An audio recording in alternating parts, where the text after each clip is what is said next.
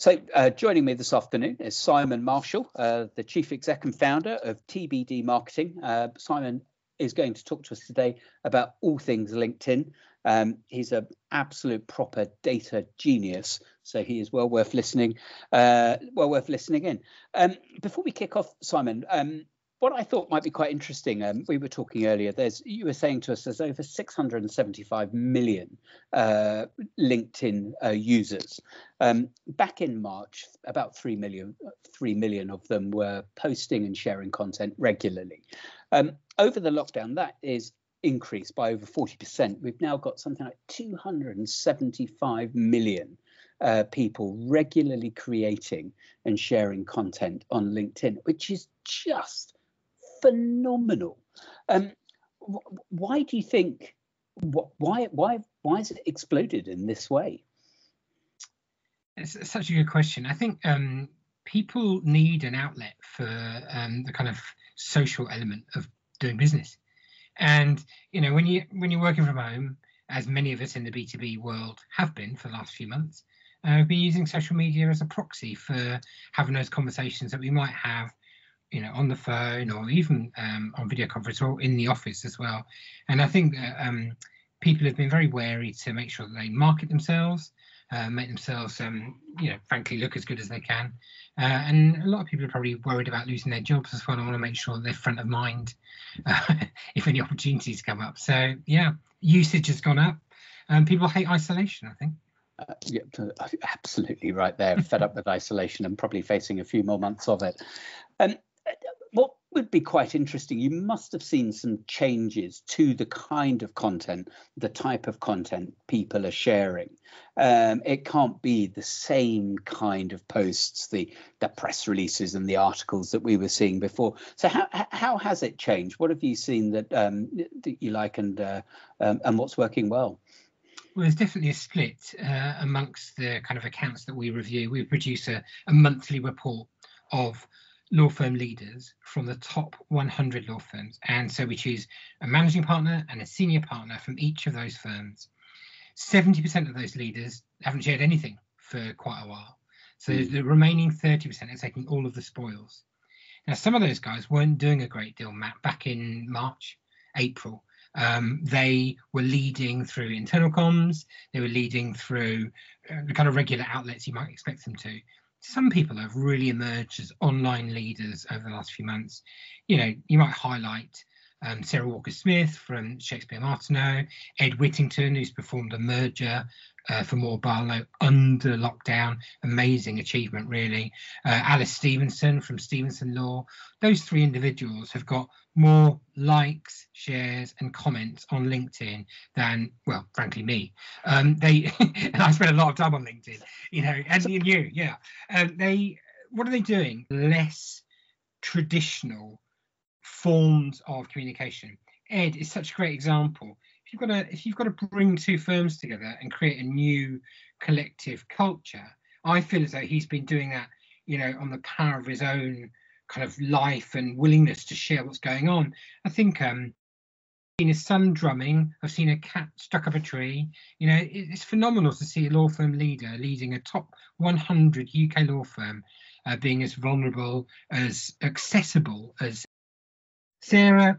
She has a lot of wisdom uh, on a regular basis. She has a lot of quotes, um, and she's quite good fun to follow if you're looking for inspiration.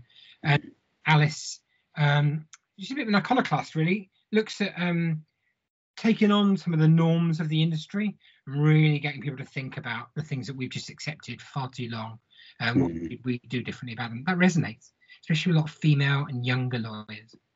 Is it um, is it about being just a little bit more human? Um, do you think, Simon? Yeah, and look, we've got to be very clear that this is it is about being more human, but the stuff we're talking about there that's got a lot of impressions, a lot of um, airtime. That's that's we know Matt as uh, old uh, comms and marketing hacks.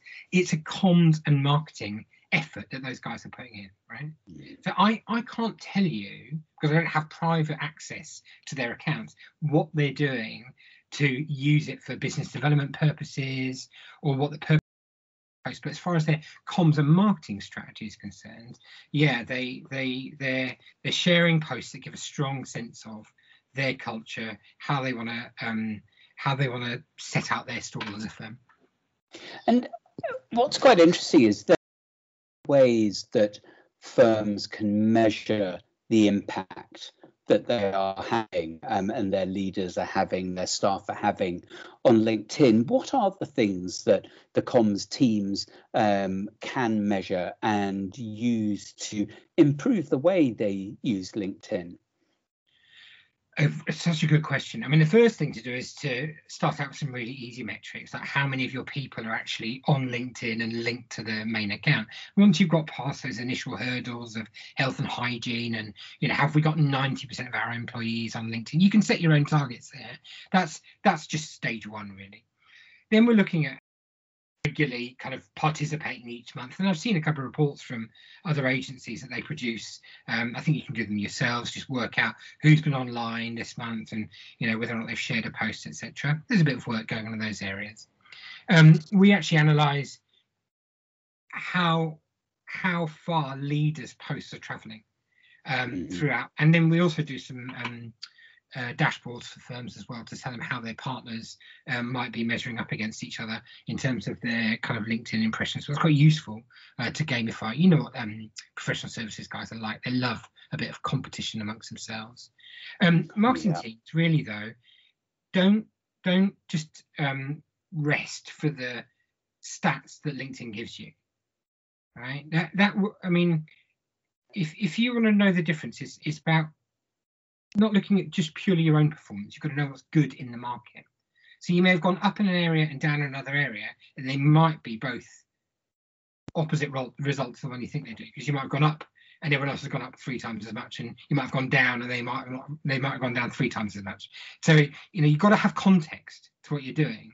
Um, mm. Just one last thing on this, and to your earlier point about content, but it comes back to these stats as well. All law firms have seen an uplift over the last few months, really. And that, why is that, Matt? Because Brexit, furlough, they're default topics where people are going to go to mm. law firms to look for the answers, right? So it's been a very law friendly business environment for the last few months. And I think some firms have really stepped up and on social, on their web, have really taken advantage of that. And and uh, can you see this as a trend that is going to continue? Um, with the law firms, the accountancy firms doing extremely well on LinkedIn at the moment? Yeah, they've got a long way to go. Um, we they're probably, you know, on the second leg of a four four by one hundred relay race. Um. Most firms still uh, probably nascent in terms of how they're measuring things.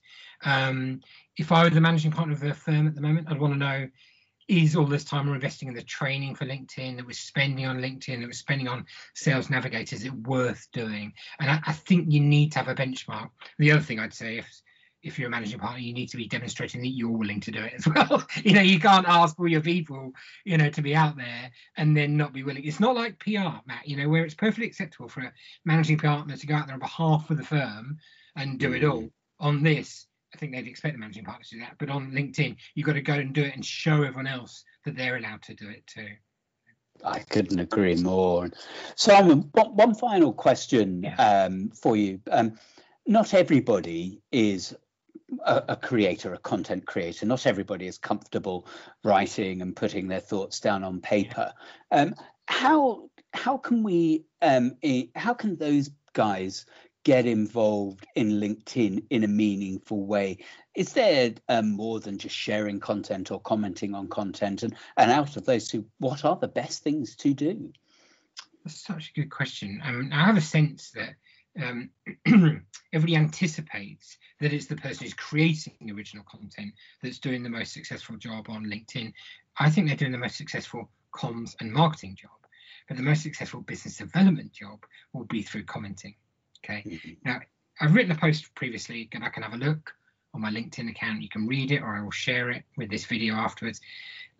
It's about sharing. Sharing is worth nothing. They might as well get rid of the button. Sharing doesn't share your post with many people. And do you know why that is? Because LinkedIn knows that people don't read shared posts. right? It's it's a, it's the Pavlovian response, a bit like liking. You know, it's very easy, minimal input, minimal output. Now, the thing you're asking me though is, what can people do if they can't create original content instead? Well, you know, liking one of your clients or your targets or your colleagues' successes or posts is a great start. Commenting on it validly commenting on it. Matt, you've done such a brilliant job with this video today. I loved hearing from Simon Marshall. You know, I'm expecting to see that comment, Matt. Right? Then, then, then, then, guess what? That you know, LinkedIn loves that because it's the social element of social media. So I just mm-hmm. encourage people to be brave. Just say, this looks great, or I love what you've done with this, or please can I hear more about this, or please can we have another post telling me about this thing. The author will love you for having commented Fantastic. So the answer, so in short, create content, and if you can't create it, comment on content. Definitely. Simon, some really interesting stuff there, and always, always a pleasure having a chat with you. Simon Marshall, Managing Director of TBD Marketing. Check him out on LinkedIn. Thanks.